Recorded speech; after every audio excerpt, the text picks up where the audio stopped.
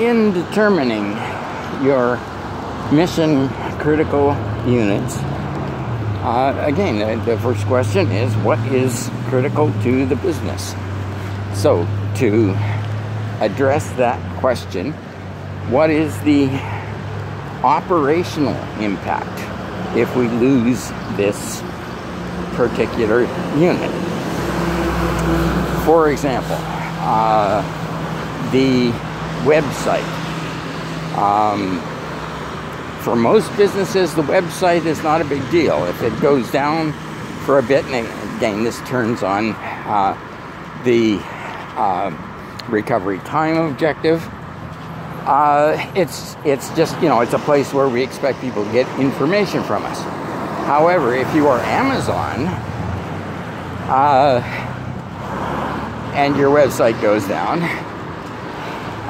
you are losing in excess of $1 million per minute in terms of revenue.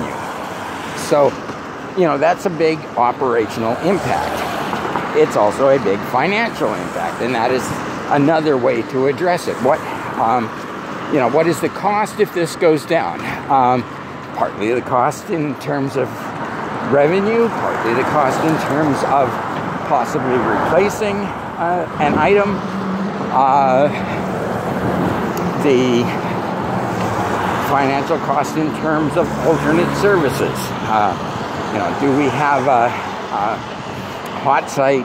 Uh, do we have um, shared services uh, that we can use as alternatives? And you know, how much is that going to cost us in order to recover this particular function, whatever it may be?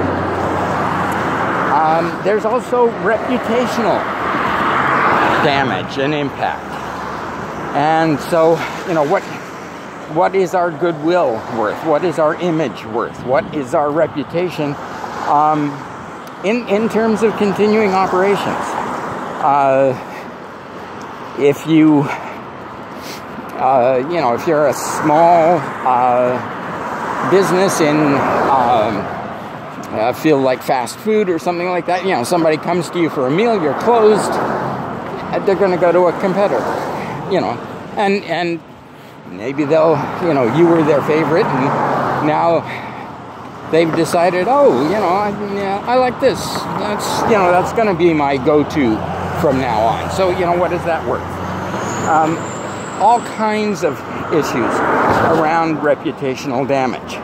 Um, Unfortunately, this gets into some really interesting messes, such as um, uh, Citibank. Um, they had uh, they got hit. Uh, you know, some attacker uh, came, tried to steal money from them. Um, they did everything right. They minimized the damage. They uh, minimized the loss. Um, and so they decided, okay, you know, we this was good. You know, our our plans worked. Our uh, you know we uh, we had an attack. We addressed it properly. We minimized the damage. We did everything right. We can use this, and so they uh, they did. They you know they announced this. You know we got hit. We did, did everything right. Uh, your money is safe with us. And unfortunately, all anybody heard was we got hit. And so, you know, they they took a big uh, financial hit in terms of the reputational damage. Um, you have to consider that.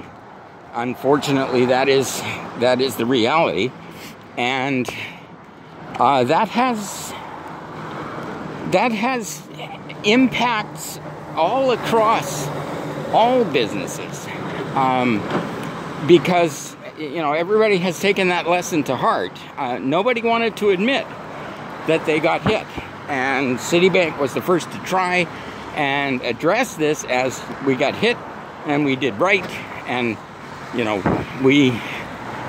Uh, you know we're we're safe we're uh, secure you can trust us and it it wasn't good so you know, I, once again, this idea that you can't tell anybody if you get hit in any way, um, if you get attacked, means that nobody is providing information about attacks, and it's it is still extremely hard to find you know um, attacks until it's too late. You know, when somebody has had a major attack and and uh,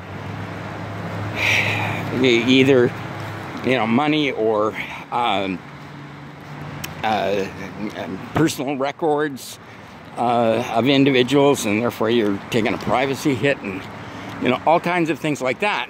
And and unfortunately, we don't have the information because nobody is willing to say what has happened to them, what they are seeing in terms of attacks, and uh, this hampers us um, in terms of protection and information security not having the data that we need for uh, knowing the real reality of the threat environment.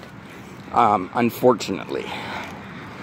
Uh, anyway, uh, what is critical to the business? And, and again, what are the options? Like I said before, you know, don't ask, are you critical? Ask, you know, what do you do if this system goes down, if this part of your office uh, is unavailable, whatever, and and see what the options are. If there are no options, then yeah, this is critical. We've got to address it. Uh, again, depending on on the impact. What is the impact of uh, the loss of this particular system, office, function, whatever it may be? Um, personnel, once again, uh, you know, uh, what happens if we lose our personnel? Um, and again, with regard to the pandemic, um, it wasn't necessarily that we lost everybody, although we did lose an awful lot of people, but um, it was more uh, everybody was in lockdown, everybody was staying away from the office, so how do we address that? And again, what are the options with regard to personnel? Um, so, interesting conflation of uh, a couple of points there. Um, and and once again, succession planning needs to be a part of this. We need to uh, address those issues. Who is most important, and what do we do about uh, their potential loss? Um, you know, it's not always the CEO who's the most important in that regard. so, again, uh, what's critical with regard to the business? And one of the big ones, one of the big ones is communications. When we have a, a regional disaster, you know, the same thing happens all the time. Everybody pulls out their cell phone nowadays, and nobody can get through. Um, this has been this has been interesting. I mean, you know, it used to be before cell phones became absolutely ubiquitous that people would uh, do the same thing with the phone. Now, you know, when everybody picks up the phone at the same time, an awful lot of people don't get dial tone. The the phone system is not built to service all subscribers at once. Um, the cell system is even less. Um, you know, there are an awful lot more cell phones than there is for provision of service in the cell phone system. So do not rely on cell phones. Um, interestingly, um, uh, data and particular texting services uh, can be more accessible than the voice uh, connections.